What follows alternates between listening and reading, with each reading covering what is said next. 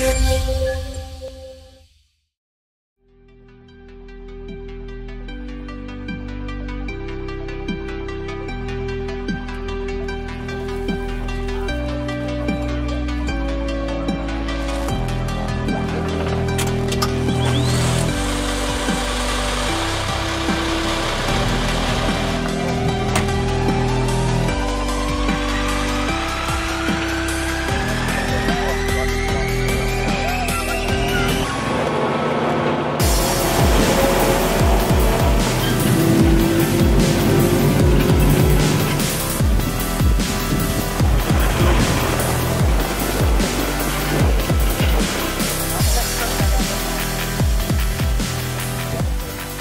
Tout nouveau Fendt 1000 Vario, donc euh, tracteur qui arrive directement depuis la République tchèque pour une tournée de démonstration dans le quart nord-est de la France, donc euh, notamment sur le secteur EMC2. Tout nouveau tracteur, nouveau concept de tracteur, un tracteur qui vient s'intercaler entre des, modèles de 400 chevaux, des tracteurs standards et des tracteurs euh, type Schniar, autre concept de tracteur. Donc l'idée c'est d'avoir un tracteur avec plus de puissance, d'accord, mais qui peut toujours encore faire des travaux plus polyvalents.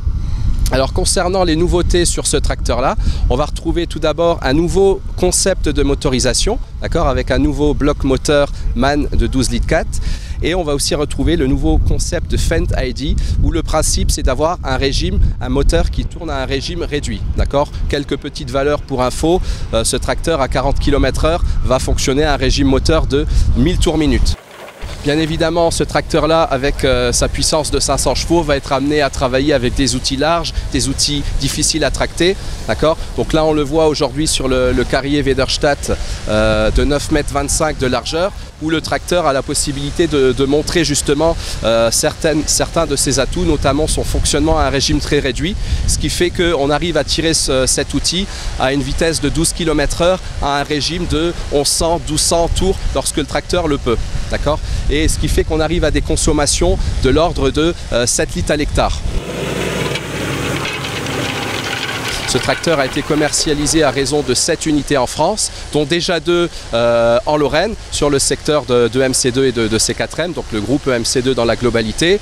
Élitiste, non, parce qu'aujourd'hui, on voit depuis un certain nombre d'années l'envolée de la forte puissance et maintenant de la très forte puissance. Et encore une fois, je le, je le répète, je me répète peut-être, mais de plus en plus d'exploitations se restructurent, s'agrandissent, mais vont faire de la route. Tout le monde n'a pas la chance d'avoir un certain parcellaire autour de la ferme et avec ce Fendt 1000 Vario, on aura la possibilité de faire de la très grosse traction et de faire de la route tout en ayant toujours cette notion de polyvalence.